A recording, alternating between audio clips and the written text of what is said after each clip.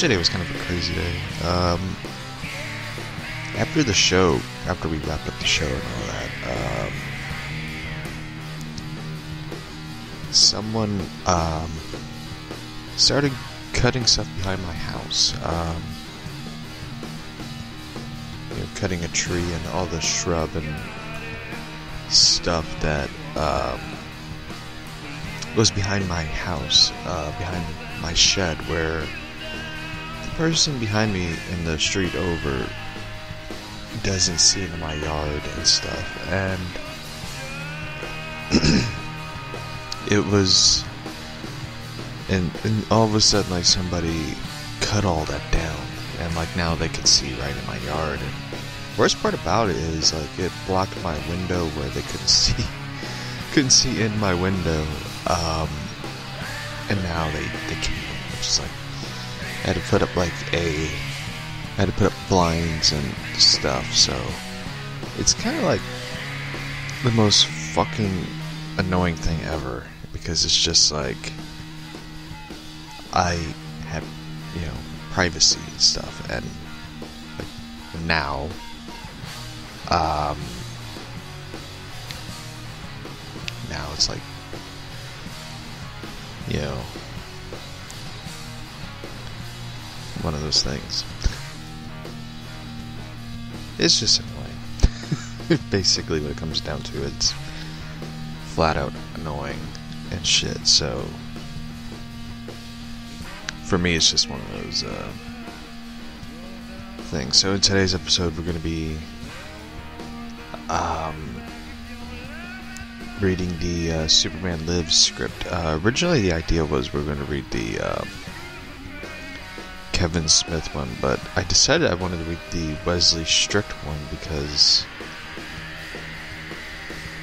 I, you know, I've always been kind of curious about what Wesley Strick has gotten in his idea of a Superman movie, and Wesley Strick did uh, a lot of. Uh, I'll read his filmography and who he is. Uh, he did, you know, uh, you know, movies. He did the screenplay for the remake of uh, Cape Fear, which starred uh, Robert De Niro, Nick Nolte, Jessica Lange, um, Juliette Lewis, and uh, Gregory Peck, which was Gregory Peck's final theatrical film role. So, uh, and for those who never seen Cape Fear, it's one of the, it's it's a really good uh, 1962 film is really good, uh, which actually starred Gregory Peck, Gregory Peck and uh, Robert Mitchum. And Cape Fear is one. Cape Fear is a really good film. I highly recommend that film. I recommend the Gregory uh, the Gregory Peck one because it's very classic. It's um, it's a very um, oddly enough, it's it's a film by uh, J. Lee Thompson, who's a British film director. But the film has a very Alfred Hitchcock type uh, uh, elements to it. But the the funny thing about it was uh, Thompson was a fan of Alfred Hitchcock, and he wanted to bring in that Hitchcockian elements in a film. So I I highly recommend uh, the 1962 Cape Fear. But the cool thing about it is Peck, Mitchum, and uh, um, Martin Balsam, all reprised uh, all appeared in the film, the remake. I don't I don't know why it's just like I always I, I was never a big fan of remakes as probably some of the listeners probably know I am not the biggest remake fan.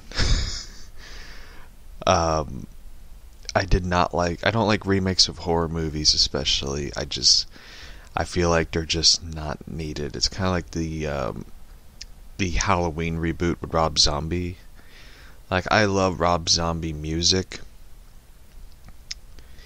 You know, um, but I just was not a big fan of the reboot, remake, reimagined, whatever they call it, of Halloween.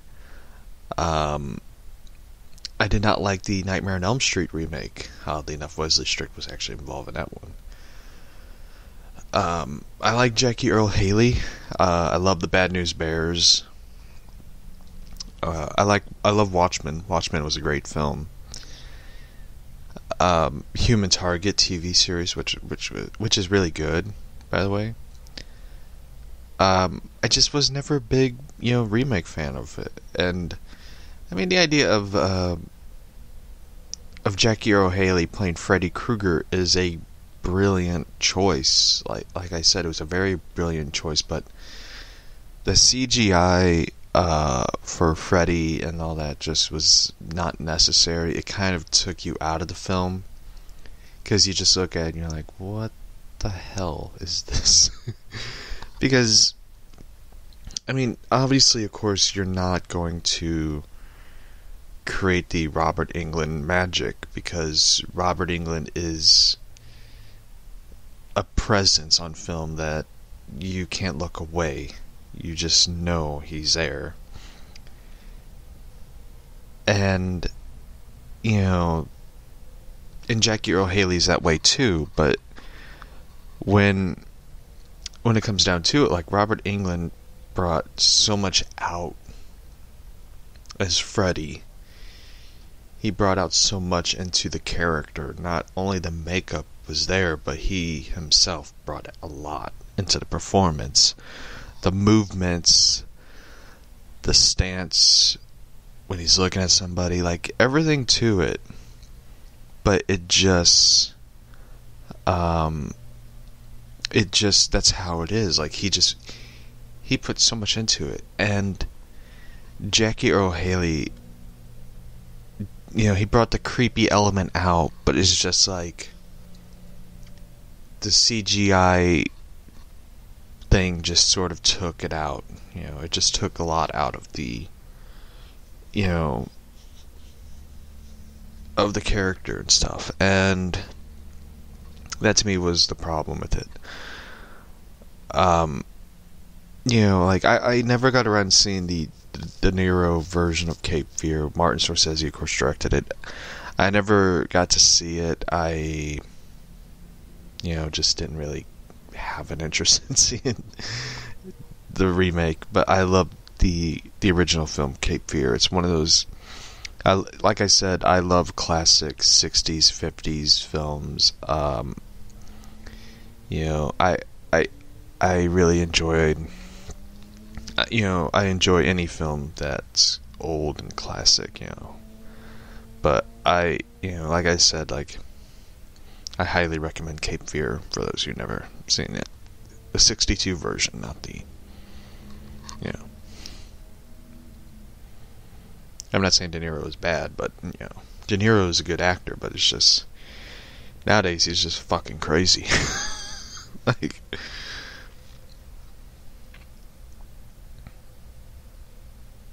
yeah, so.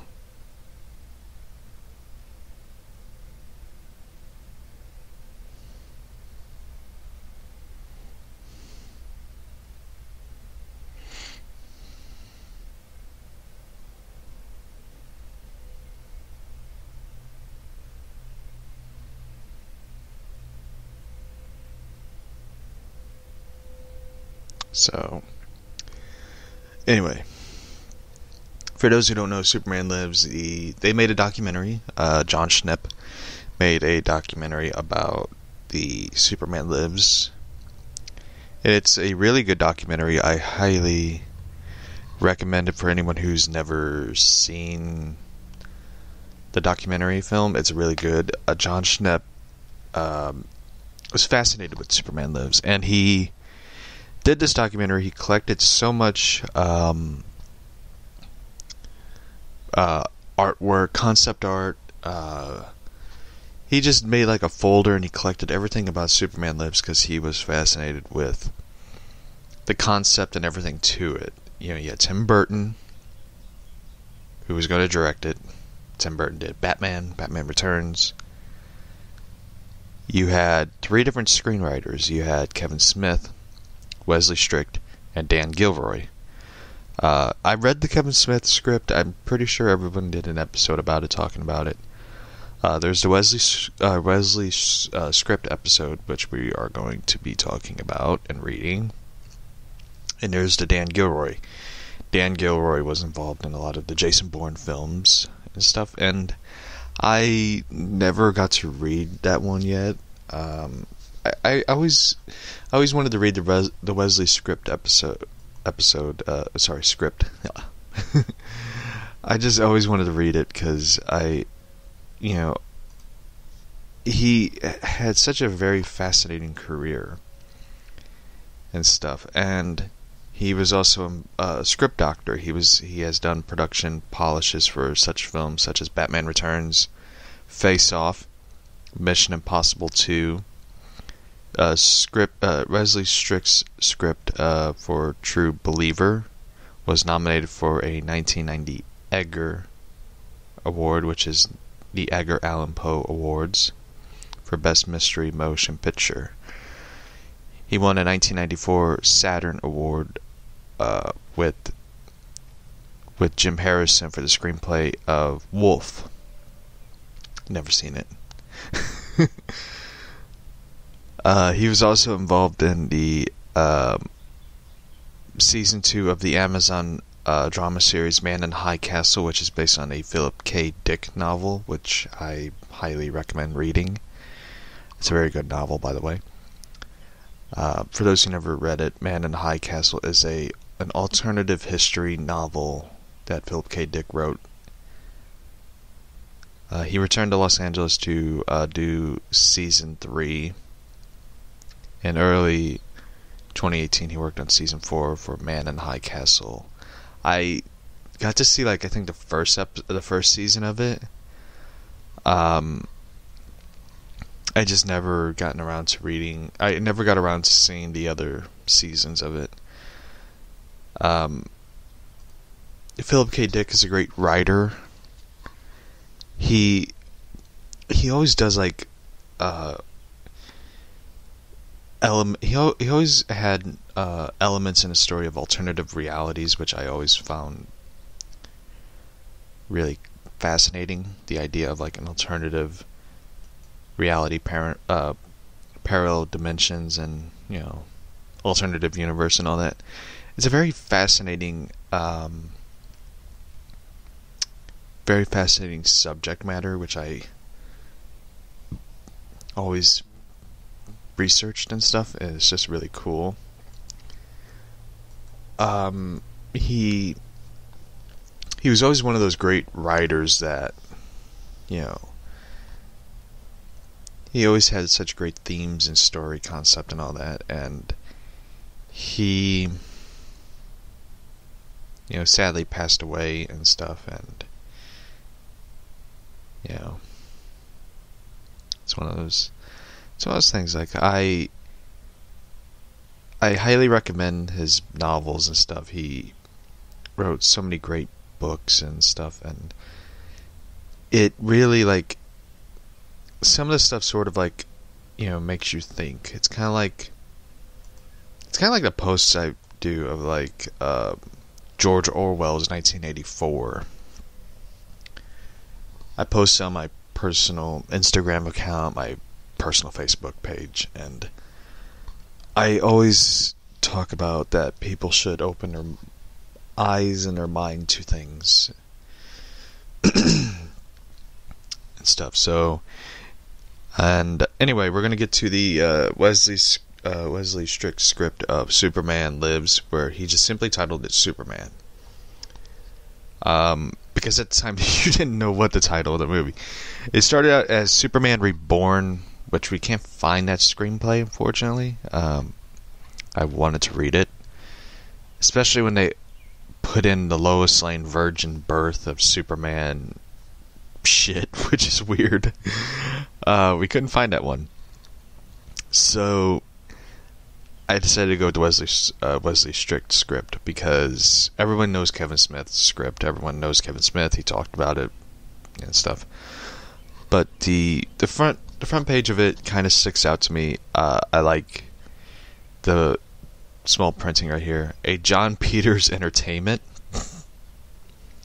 Warner Brothers Pictures, director Tim Burton. Uh, it was dated July 7th, 1997, the first draft. So let's get into the first page of it. Oh boy. I'm kind of nervous about this one because I read the Frank Miller script for Batman Year One, and oh boy. so anyway, the screen is black. Fade in. Interior University corridor. Late night. A young professor hurries down the empty hallway, hotly murmuring to himself. Intensely concerned, a handsome man about thirty, very uh, but dressed strangely. We are in some other country, sometime in the past, or in the future. Young professor, it's switched off. It can't be. But the readings, what else? The young professor reaches a massive steel door, like the hatchet of a walk in safe, slides an ID card, it's emblazed, blazoned with a familiar looking S shield. The door hinges open. The young professor pauses. He hadn't noted till now the depths of his fear, then enters. Interior University Lab. Late night. Dark. The professor tries the lights. The power is off causing oh sorry cursing he's got just enough time. As the safe door sw- the safe door swings closed again to find an emergency flashlight. He flicks it on plays a beam over all the bizarre equipment. The ultra advanced science uh, sorry, uh, paraphernalia. Now he hears a creak. He spins. His voice quivers. Young professor. A-I-C. The flashlight finds a thing. Translucent ball perched atop the pyramid shape. It appears inanimate. Young professor. Answer me. And finally, within the ball, a faint glow. The ball. How can I... Um, you unplugged me, Jor-El. Remember, recall, the young professor, Jor-El, looks visibly shaken. Jor-El. I did what I had to do IAC. Your constant need for energy had become untenable. The ball. I don't care for IAC, Jor-El. Initials, intelligence, artificial, cybernetic. No longer say enough. So I added the word brain. Because mine is so big. Jor-El slowly edges closer, trying to determine where the thing is now getting its power, while humoring him. Yes, it is. IAC brain. Brainiac, the ball. Brainiac! Jor-El flinches. The glow brightens. Within the ball, a smirking, holographic humanoid face fades up. Brainiac. And I did what I had to had to. I plugged myself in to the very core of Krypton. Just as Jor-El beams, finds a metallic tentacle snaking from beneath the pyramid into a hole it drilled through the lab floor, presumably to the planet's center. Jor-El, as I feared, all the recent temblors, the force shocks, trying to control himself, but his voice chokes with rage. It wasn't enough to steal from the university's nuclear reactor. Now, you dispilds our plan. The labs crazily shakes another quake. Jor-El drops the flashlight, staggers back. Brainiac's hollow head rattles It precarious on the pyramid. I'm kind of confused. I'm not confused, but I'm kind of like wondering in my head, like, if they did this film, who would they cast as Jor-El? yeah, because I'm, I'm thinking in my head, like, you kind of need. I mean, like, you're gonna have Nicolas Cage play Jor-El. You kind of need somebody similar to Nicolas Cage to play Jor-El. You know, like I'm just thinking in my head, like who would play Jor-El? I wonder. It'd be pretty cool to like know. Imagine John Travolta. In the noise confusion, Jor-El grabs a torch behind his back, flicks it on. A blade of a blade of flame shoots out. Page three the script's kind of like I, I like how it starts off. Um, you know, sorry by the way. Usually when, I read something, I kind of like talk about it. I kind of give my my two cents in on this. Um, I like how the page is like kicking off, like it's it's picking up steam already. Um, usually that's what happened. Like like um, and, and, this isn't a knock at the original Superman film. I know a lot of people love the original Superman film, but I'm sorry, it starts out pretty slow, and it's like, you know, you know, it's like a train trying to get up a hill. sorry, with um, but this one is just like it's you know picking up steam. It's like going. I, I like it. I love it. I'm really into it now. Um, the shockwave subs- subsides in a creepily friendly tone. Brainiac, there's a simple solution, Jor-El. All you have to do is give me K. Jor-El tries and fails to mask his stunned surprise.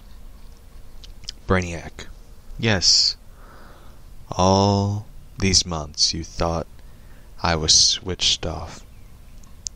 I watched you at your workbench creating the very thing I'm not.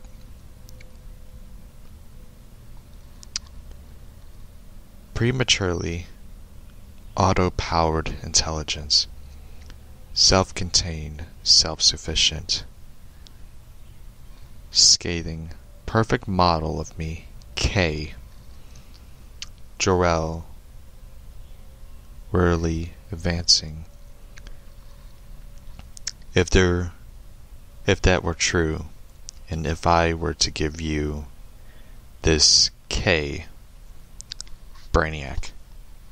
Uh, for those who are wondering, K is sort of um, uh, uh, K. K was created to sort of be Kal-El, Clark Kent, Superman's sort of confidant, um, his ally, his uh, sort of teach him everything being Kryptonian and all that. Um, you know how to be Krypton, you know about everything about Krypton, you know Kryptonian history and all that. So so sort of in a way, it's sort of like a intelligence, you know, educator thing basically what it is. Um, so anyway. So anyway, Brainiac. I have an infinity power supply. So I'd stop poaching from the core of your oh so precious planet. Jor-El, damned right. You'll stop.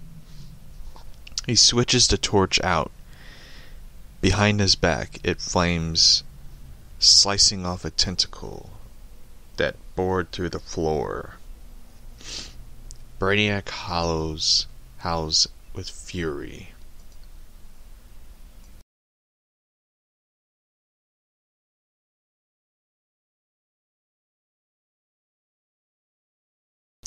So, then suddenly, terrifyingly, rises to his full towering height, a pyramid standing, crumbling, revealing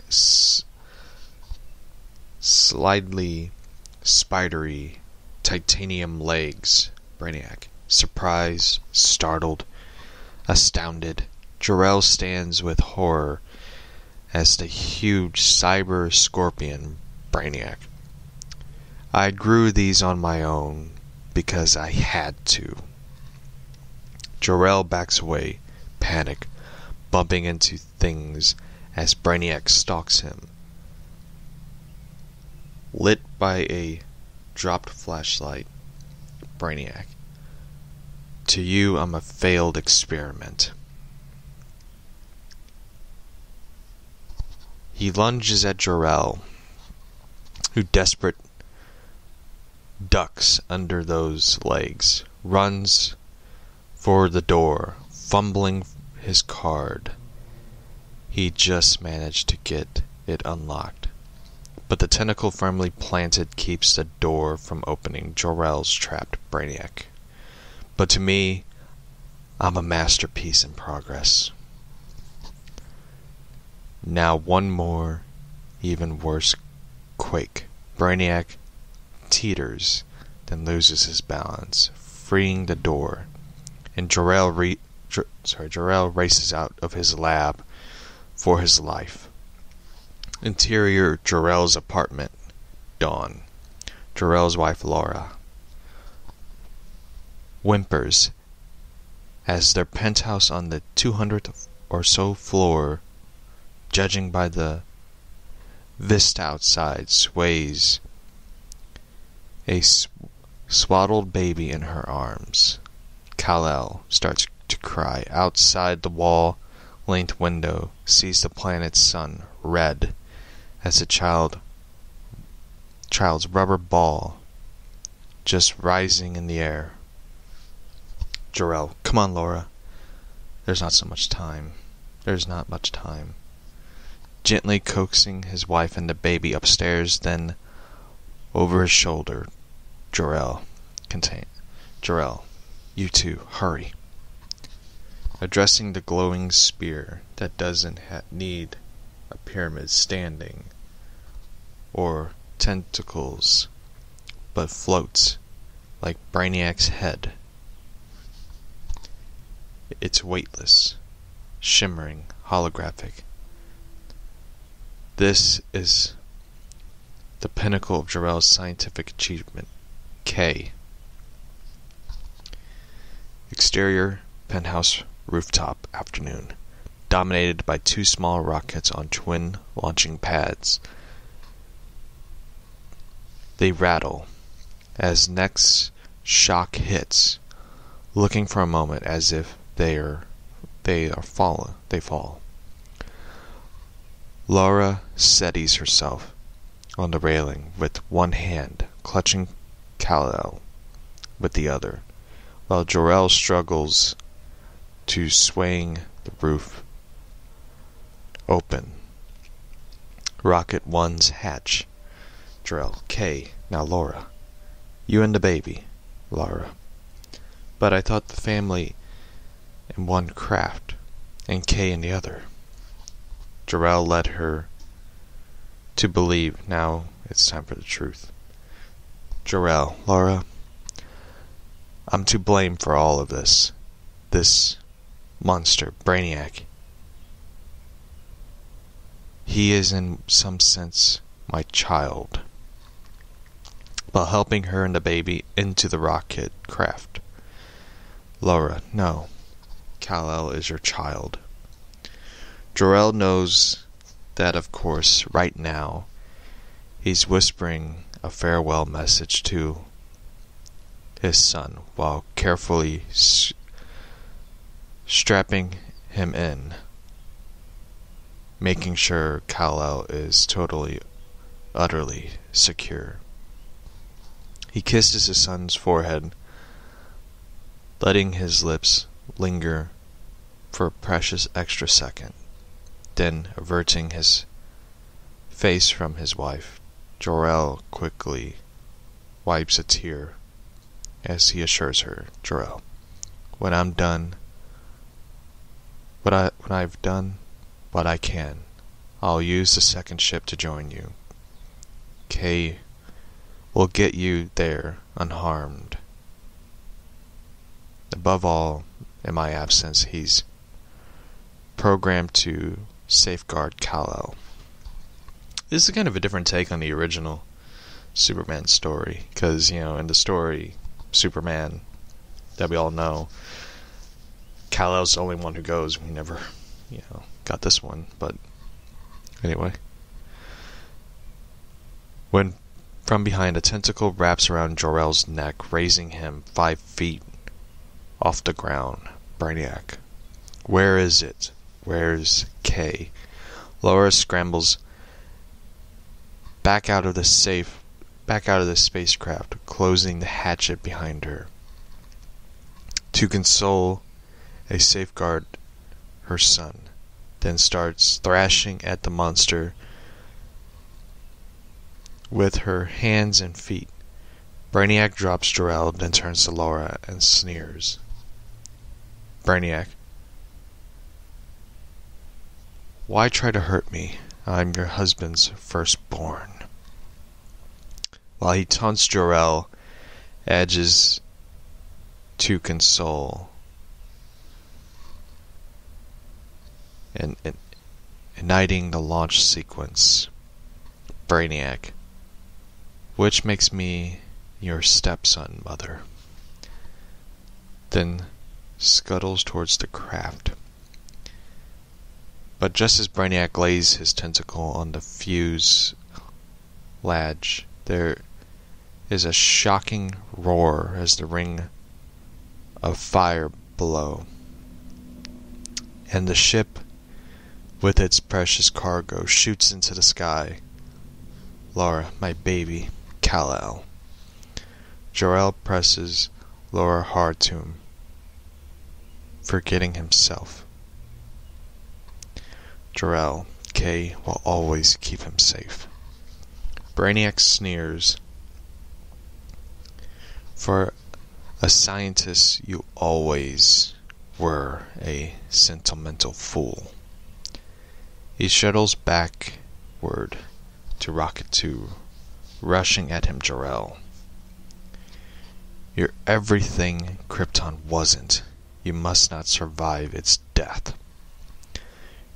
Brainiac murderously lashes with a tentacle, cutting him down, then climbs into the climbs in sideways into Rocket 2. Brainiac, ah, history rich with irony. Laura screams down, downed out by Brainiac's launch as Krypton is rocked with the biggest temblor yet. She runs to Jor-El's body as the tower collapses, crushing her. Rocket to Dawn. As it climbs, Brainiac uses his mega Machano vision. I don't even know what that is. To spot Rocket 1, he locks onto it with a directory when an apocalyptic bang lights the cabin brightly. Everything is seen to be Instant as X-ray, Krypton explodes. The shockwave is more than Brainiac or his ship can take. Creates a blackout as his craft tumbles end over end deep into the void with a dip to black, then fade up. Exterior space, internal night. Super up 30 years later. As the ship streaks across the screen, a different ship. And the ship with a grinning skull. Its surface studied with victims' bones. I've heard about the skull ship. Um, it was really like one of the most fascinating things to hear about. Um, and Superman Lives. The the documentary it shows the skull ship and it is like the most um the most craziest looking thing ever. And I was just like so fascinated with the the documentary about the skull ship. And the whole idea of it was so cool looking. And and oddly enough Jon Peters owns Jon Peters has the skull ship uh, that was designed for the Superman Lives movie. And I mean of course you know like it, it, I remember in the documentary, if I remember correctly, someone said like in the the final days of production before it shut down, Jon Peters had his people come in and took every single thing that they had, including the skull ship. And he was like, I don't know if it's a rumor, but Jon Schnepp confirmed, like, yeah, they, he has a skull ship. it was just like, ugh.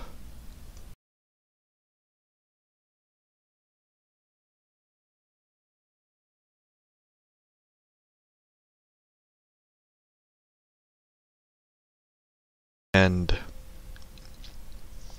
and anyway, it was just like one of those crazy things. So the skull ship thing was pretty cool. Uh, I gotta upload. I'm gonna upload the photos of it uh, on the Instagram page, Josh of Gotham. For those who never who don't have Instagram, you can follow me there or at the one Bugs Bunny. Um, your choice. Uh, but yeah, you don't have to you have to follow, but it's pretty cool.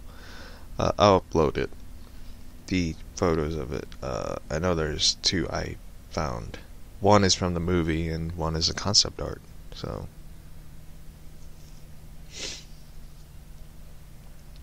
which is pretty cool. So, yeah. Alright, I just uploaded it. So, anyway. Yeah.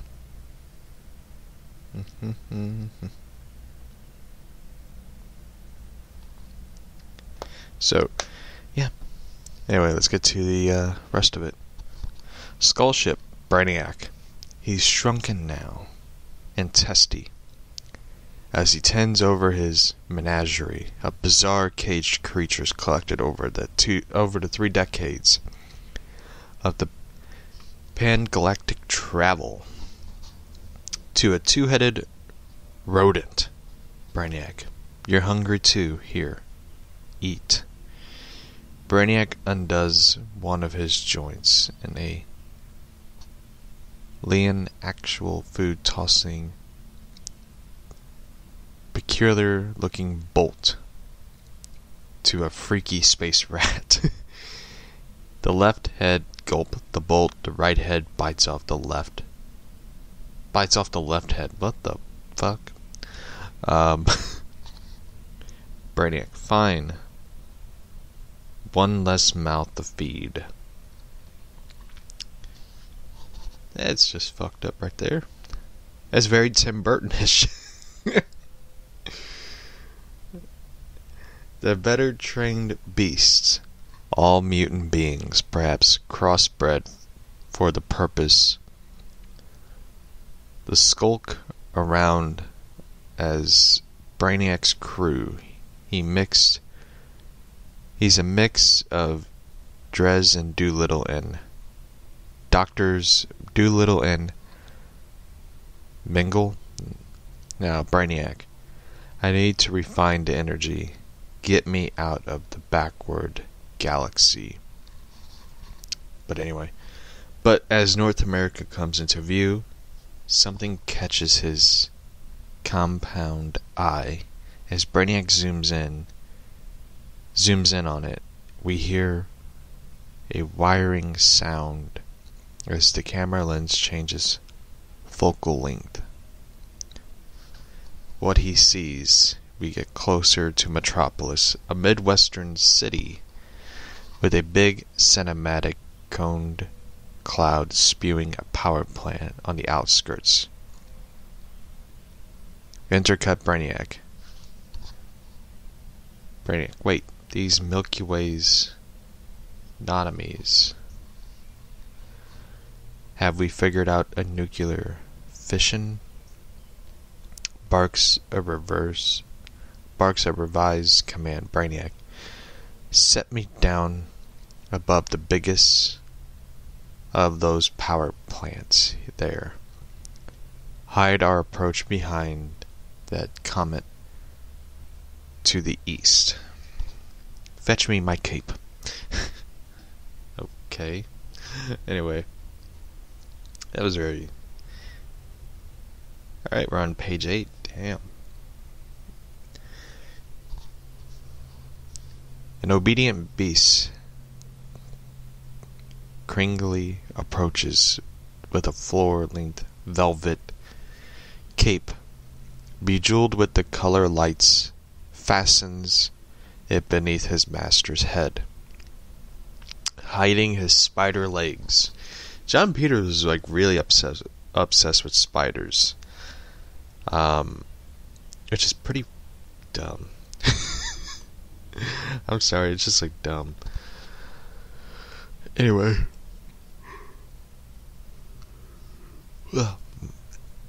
Making him appear powerful again. In the meantime, Brainiac zooms in on more, expanding the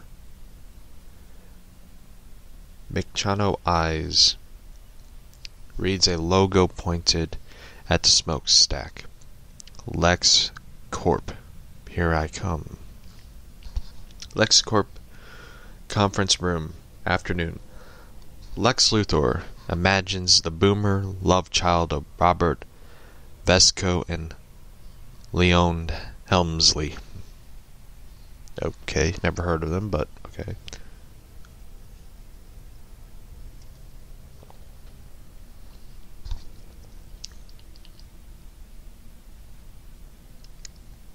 Alright. Holds a packed press conference beneath his slick double L corporate shield. A slideshow that starts that stars LexCorp Solar Provider uh, Satellite Luthor equipped with a microwave imagined capability suggests that about 30 years ago an ex extraterrestrial craft broke up in our atmosphere. Half one half crashed in the Arctic. We think the second large piece landed somewhere in nearby town of Smallville. Many of the reporters busily joke notes. Busily joke notes. Reporter 1. How do we know it was a spacecraft, not, say, a meteor? Panel of research scientists sits behind Luthor. One starts to answer, but Lex immediately interrupts. Luthor, heat, speed. Moc- uh, sorry. Molecular destiny. absent of the cosmic debris. Next. Reporter 2. Mr. Luthor, is there any evidence of an alien life formed aboard this craft? The big question this time. Luthor sits, defers his his experts. A senior scientist rises and clears his throat. Senior scientist. Microwave image is still in its relevant infancy, though we can. Luthor jumps back up. Was an alien life form aboard that ship? I bet 20, I bet my 27 billion. Reporters marvel. The scratched pen gets scratch pens get louder. Only one reporter isn't taking notes. He's just listening with a penetrating intensity, with a a bent penetrating intensely. Though this news had been meaning as personal meaning. It's 30-year-old Clark Kent,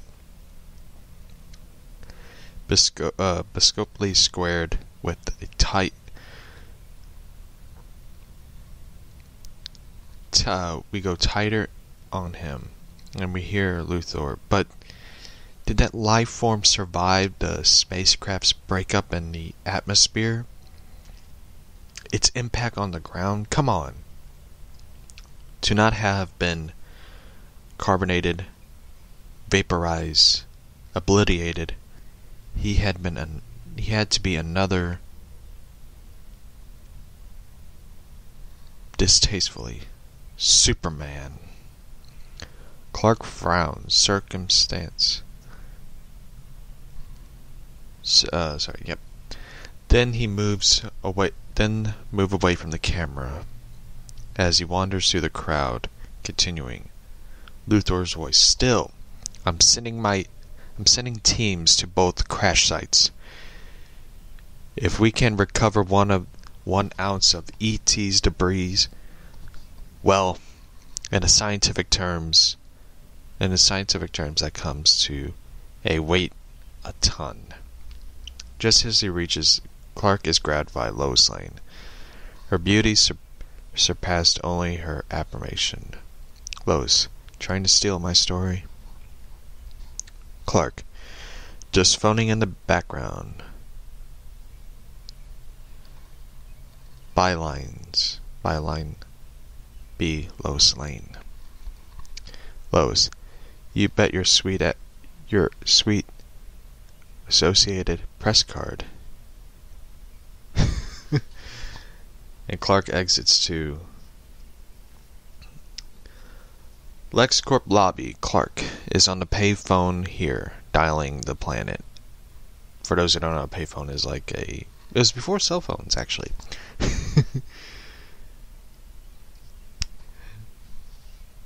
Daily Planet building. Afternoon, same time. Crane down from the Rockefeller Plaza.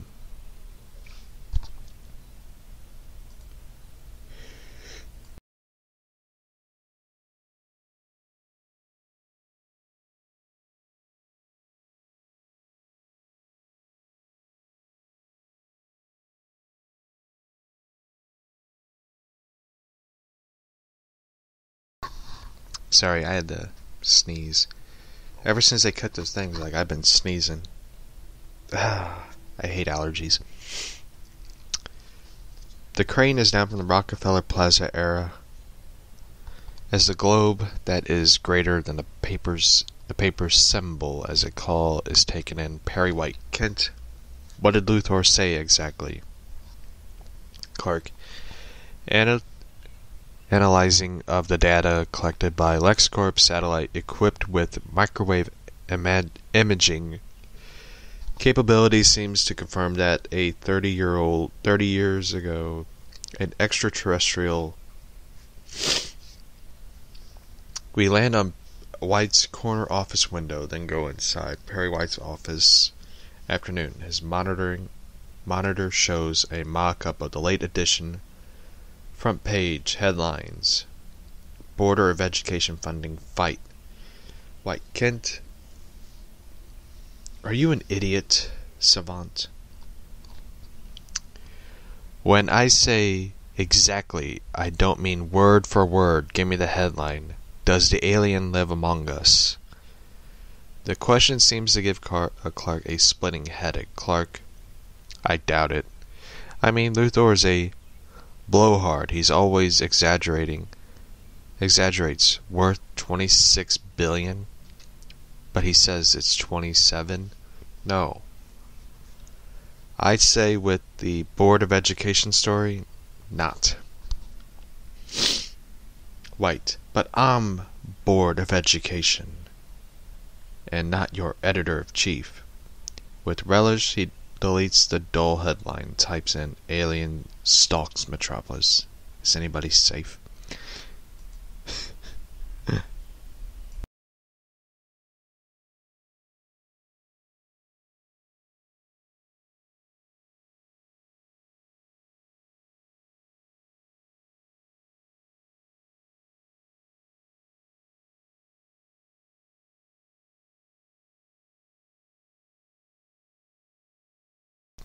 anyway.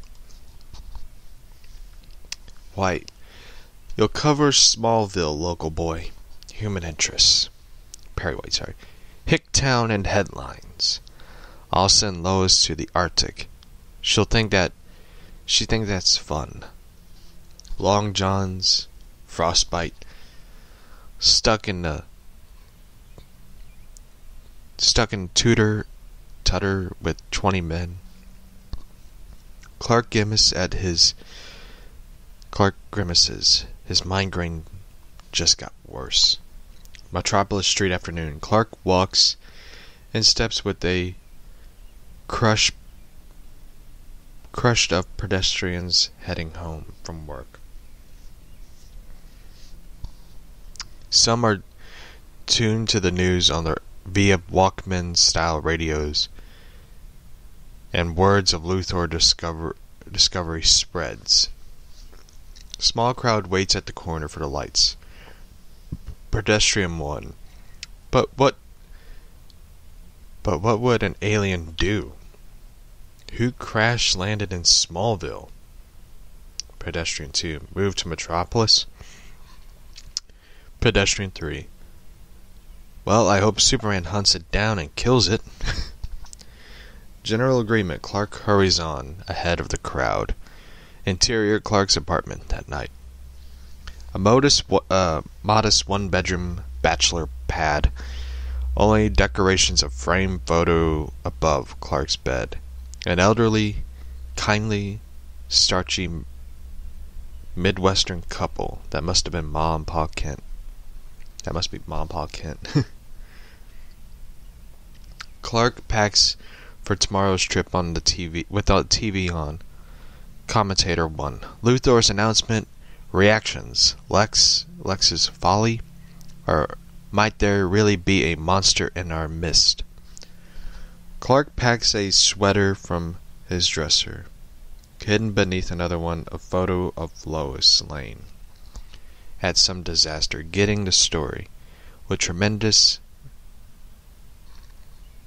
verging on worship, he sighs. Clark, Lois. He slips the photo between slips the photo in his bag between the two pairs of BVDs, I don't know. Time cut. Clark's apartment that night. I sort of like how they write Clark Kent in the script. They write him sort of like, you know, a guy dealing with life. You know, and I really like how they write it so far. I, I really do. I think Clark is sort of this guy struggling with, you know, like almost like anxiety type thing. Like I, I, I really I really think that's how they should write the character at times. You know, like he's struggling. You know, with with life. I, I really do like how they write it so far. So, anyway, um, then he slips. Oh, sorry. Yep. He, that night, Clark, uh, he can't sleep. There's a caphone, conver- uh, sorry, of conversation with his neighbor's apartment. Clark's ears twitch as we catch a random samples. Don't feel safe. Could it could be anyone. Go out in pairs. It makes your skin crawl. Clark gets out of bed in his boxers, reve- revealing remarkable sculpted build for a writer. He opens his closet door. There are 30 identical dark business suits there. He reaches for the nearest one. Exterior city street. Late night.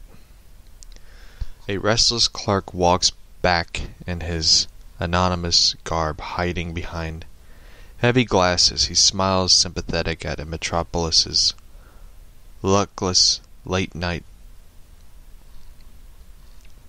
citizens.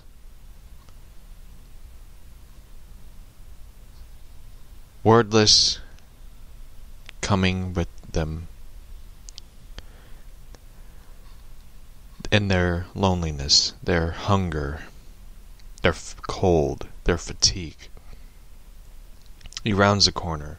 Here's a homeless woman gawning, gnawing on a piece of raw meat scrounged from the dumpster.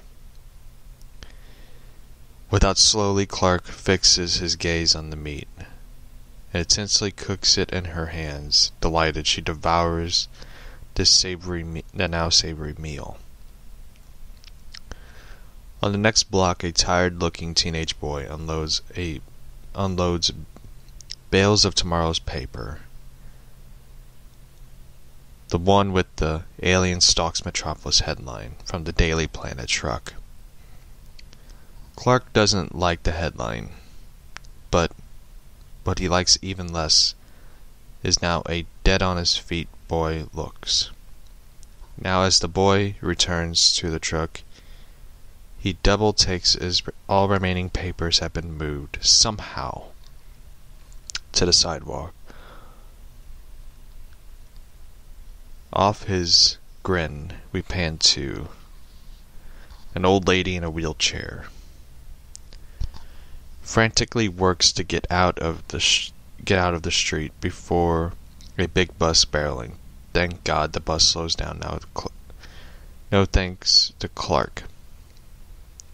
Hidden behind the bus as we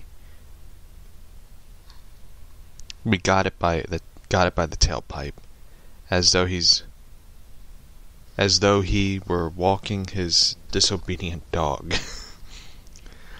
Clark lets go and keeps walking, sleepless, haunted by Metropolis's biggest hero, and most fugitive, and most uh, as most uh, bu- bu- bu- yeah. Let's get to Smallville. I wonder how they write Smallville in this one. Smallville outskirts. Next morning, a press a press bus speeds down the rural road past a farmhouse, mostly untouched by time. Press bus, Clark. In the window seat, surrounded by fellow journalists from Metropolis, Atlanta, New York, L.A., even some European scribes, who wonder what they're doing in this cow town. As he stares out one of one humble home that blurs by flashback to Kent Farm morning. A uh, quarter century ago behind the house away from the neighbors' prying eyes the Kents have set up a fence and play area. With a mini trampoline from Sears they watch Clark, a very cute but maybe tad, shall we say, hyperactive, jumps up and down. Young Clark, Paw, watch me fly. Pa Kent, very nice, son, but not so high, folks might see. Indeed, every time Clark jumps, he gets a few feet higher. Soon, he's leaving the top of the frame, not returning for one second, two seconds, five seconds. Ma and Pa Kent trade looks, astounded anew. Now Ma Kent laughs, which makes even Pa Kent laugh, which means young Clark is floating, floating above them both. Break into joyous laughter too. We cut back to Smallville Bus Depot. Next morning, the press bus pulls in. Discovers, uh, disregards the the journalists. Clark is last off looking at the scribes from Ogie and Lamond, even because he grew up here. Alrighty, I guess, um, man, it's already been one hour and two minutes into the show. Um, wow. I guess we'll uh, continue on the uh, the script tomorrow. Uh, not tomorrow, but uh, Monday. Believe it or not, because today's Thursday, and we'll continue it Monday. Because uh, Friday I am busy. I'm busy those three days: Friday, Saturday, and Sunday. And I'll be back Monday um, to read the rest of the script, and uh, we'll be back Monday. Um, you know, those like I said, those three days: Friday, Saturday, Sunday. I'm busy those days. Um, you know. So uh, I'll be back Monday, and uh, you know, so far, I mean, in the script, I. I, I really like the different take of it. I think it's really cool. I do have in an odd way, I do kind of have a uh, Zack Snyder vibe of it. In a way, I mean, with Perry White and all that, but um, yeah, I, I really do like the different take of it. I think it's really cool of how they um Wesley Strick wrote it. I makes me wish the movie was made. Uh, I know a lot of people always talk about how great the Kevin Smith script is, which it is. I mean, it, you know, there's no denying it. But for me, I, I really like the Wesley uh, Wesley Strick take of it. I think it's really cool, and um, you know, like I said, like I think it's a really interesting, fun take of a Superman, you know, story, and I do highly recommend it I do highly recommend reading the script. Uh, so, I mean, for me, I, I like the the take of this this script of Superman. It's it's like what I said. Like Superman has to be interesting. Clark Kent has to be interesting to make Superman an interesting character, and I think, unfortunately, with you know with uh, Brian Bendis and you know company, I think he unfortunately made Superman not that interesting. Um, he took away all the elements that make Clark Kent an interesting character. Clark Kent as a father, Clark Kent as a husband. He took away all that and just like we're giving you Superman. It's like, fortunately, Clark Kent is Superman. so, anyway, um, you know, I, I, you know, I part of me wishes this movie was made because this would have been a different Tim Burton movie because we're all used to Tim Burton making this dark gothic type movie.